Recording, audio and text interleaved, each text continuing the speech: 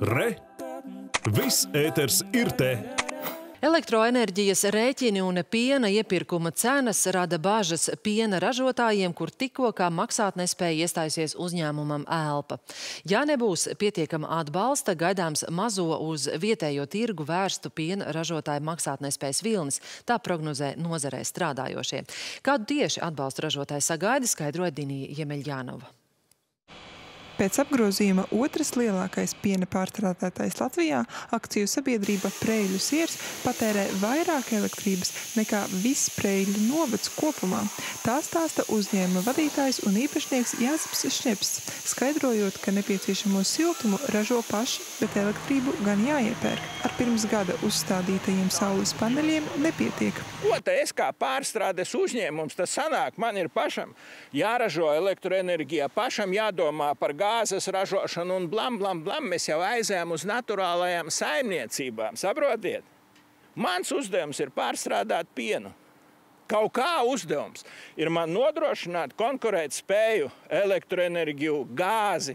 Tāpēc mums ir valsts uzņēmumi. Salīdzinot šī gada jūlija un pagājušā gada jūlija cenas, uzņēmumā izrēķināts, ka par elektrību un šķeldu jāmaksā divreiz vairāk, par gāzi trīsreiz vairāk. Preļus ierālēš, ka izdzīvos eksportējošie piena ražošanas uzņēmumi.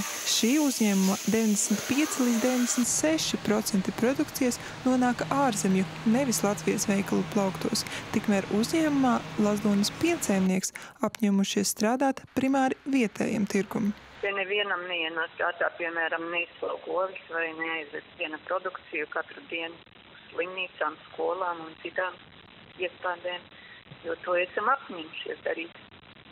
Skaidrs, ka grūtības ir visiem. Piena iepirkuma cenas jau gandrīz nespēja sekot vairs e, pārdošanas cenām. Lazdonas piensēnieks šajā rudenī plāno pievienoties Rimī kampaņai, kas paredz fiksēt produktu cenas. Gan Preļos, gan Lazdonā kritizē kooperatīvus, kas pienu pārdot kaimiņu valstu pārstrādātājiem un valsti, kas nespēja ierobežot gatavo produktu importu. Šobrīd pieejamais atbalsts ražojošajiem uzņēmumiem palīdzēs izdzīvot tuvākos mēnešus mēnešus, bet neatrisina problēmu, kas milst kopš gada sākuma. Tā vērtē Piensaimnieku savienībā. Jebkurā gadījumā par izdzīvošanu būs jāmaksā.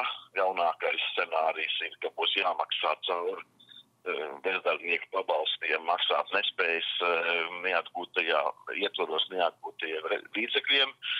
Nu, labākais ceļš ir droši vien samaksāt, lai uzņēmums izdzīvot un nākotnē nopelnīt. Ilgtermiņa risinājums pievienotās vērtības nodokļa samazināšana pārtikas produktiem.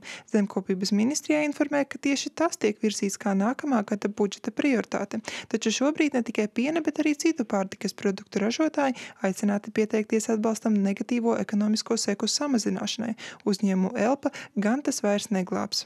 Jā, diemžēl, diem, diemžēl šajā gadījumā ir tā, ka nu, šis atbalsts seko ir mazliet pavēlu. Konkrēti tie uzņēmumi, kas ir cietuši zaudējumus un nu, ir iesnieguši savus pieteikumus, saņems atbalstu. To, cik daudzi to saņems un cik vispār pieteikušies, taps zināms oktobrī. Dinija Jimļanova, Māris Justs, Latvijas televīzija.